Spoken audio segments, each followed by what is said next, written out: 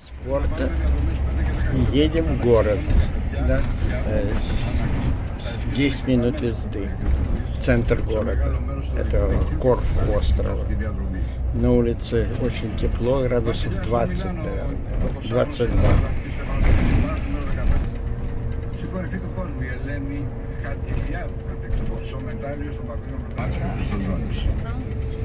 Με αμφισβητούμενο γκολ, ο Λεβαδιακός νίκησε με 2-1 στην έδρα του Δονόφη στο πλαίσιο της 14ου ΠΑΟΚ Πανετολικός στις 7 Λαμία Θέρας Τρίπολης και στις 7 και μισή τον Τέρμι Ολυμπιακού. Η μουσική της Football League και συνεχίζει η ΑΕΠ στη διοργάνωση. Σημαντική νίκη πέτυχε και ο Βόλος στην έδρα του με το ίδιο σκορ.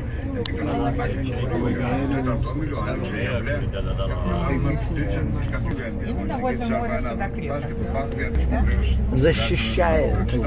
Крепость не для того, чтобы, чтобы защищаться можно было. κολαργού. Κάθισα να με για την πέμπτη αγωνιστική, σημειώθηκαν τα αποτελέσματα. Ο Ρωσό Άρης 61-71 γυναικό παλιώνο Αθηναϊκός 98-45. What made Greece in a Kanyasta Debrares? Η του Ζωάου Βίκτορ στον ελληνικό.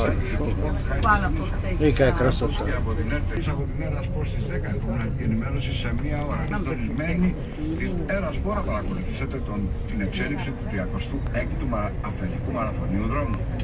Καλύτερε αποδόσει. Ούτε που και βρεθούμε, είμαστε πάντα σε μέσα με τον αγώνα. Είμαστε επίπεδο.